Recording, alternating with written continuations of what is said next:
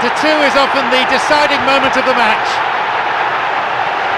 You know, I thought the team did very well for him, but it still left him with quite a bit to do. And hasn't he delivered? That's fantastic. Love that.